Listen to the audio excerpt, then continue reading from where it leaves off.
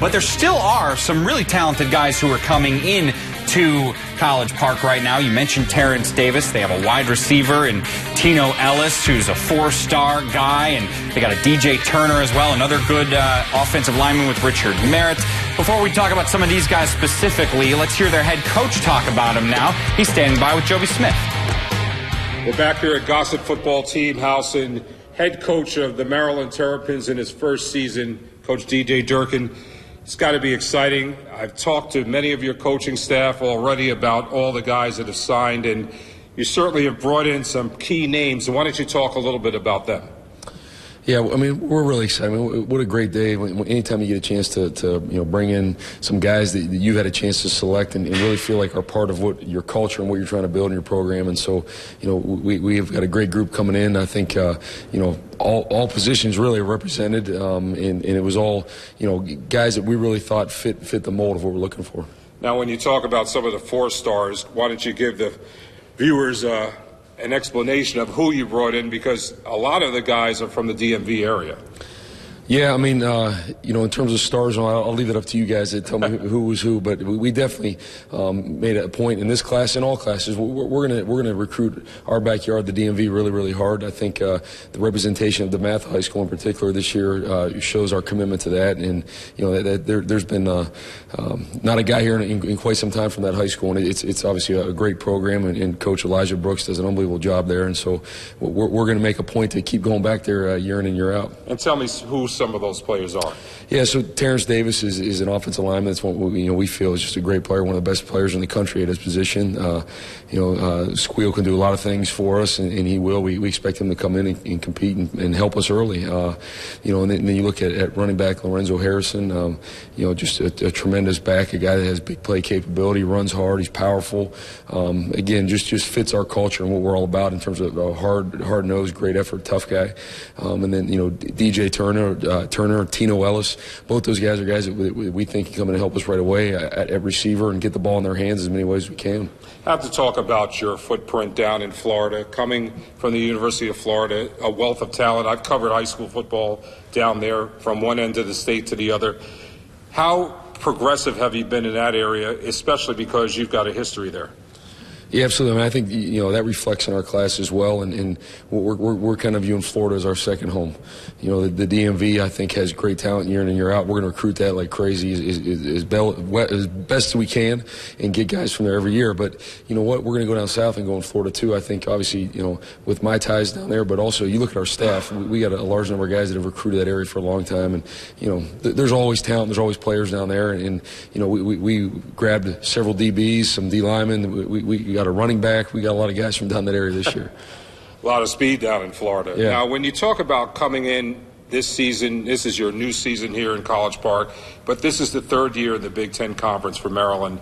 What are your expectations of this crew, and where do you need to go?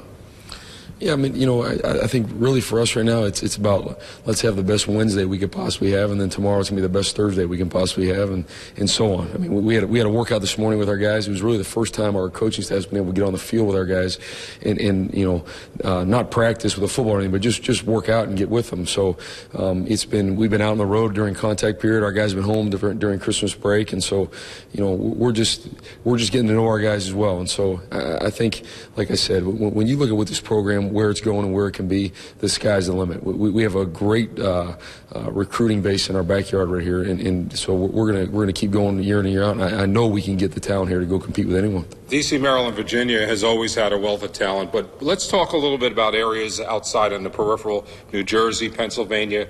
What kind of impact do you think you can make in those areas in recruiting?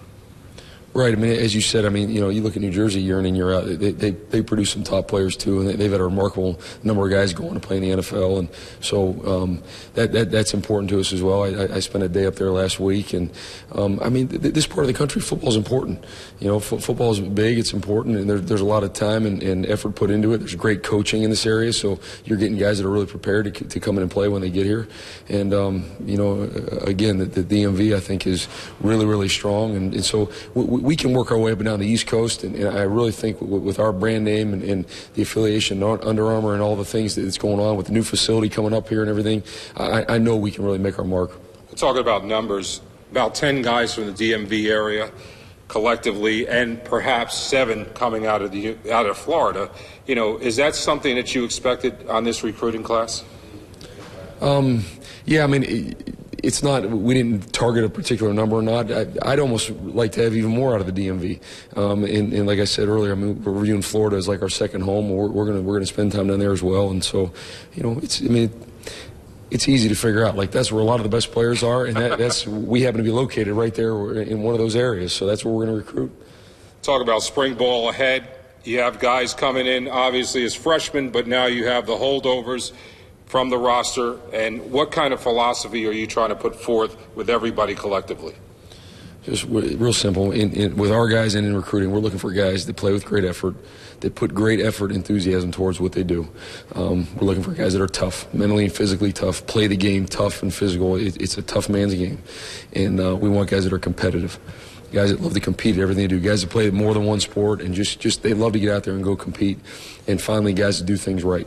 So that meaning, you know, they're where they're supposed to be. They go to class. They understand the importance of academics. They, they just do things right. And th- those four areas: effort, toughness, competitiveness, and doing things right. That's what we're going to build our team around on our, on our own roster right now. And, and it's the same thing we're looking for in recruiting. Well, when you took this job, you knew you were coming into one of the toughest divisions in all of college football with the East. You know, how did you evaluate whether you would have success in this division or not? It is. I mean, I, I think it's real easy. We're able to recruit here guys that want to play at the highest level because they know by coming here that they're playing in one of the top conferences, top divisions of one of the top conferences in the country. And uh, so, you know, it takes a special type of person that wants to do that, wants to compete at that level, and those are the guys we're looking for. So to me, it's it's a great way to, to kind of sort through things as as you're as you're going through recruiting. All right, Coach DJ Durkin, first year at the helm here on the campus of the University of Maryland, but boy, he's ready and excited along with his staff. And I'll tell you what, you guys have a lot to build on. Thanks a lot. Right, thank you.